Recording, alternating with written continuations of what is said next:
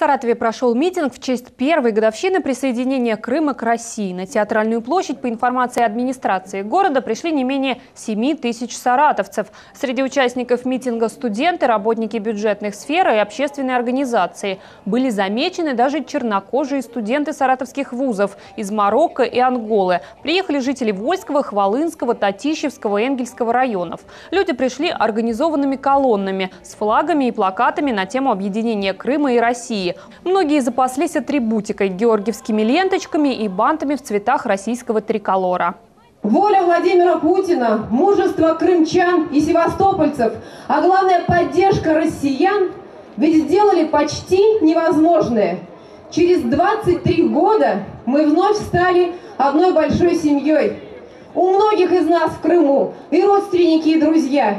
Мы всегда знали, что Крым – это наша земля. А депутаты Госдумы предложили учредить памятную дату в честь включения Крыма в состав России. Авторы инициативы считают, что это важное событие, и праздничная дата должна стать ежегодным выходным днем.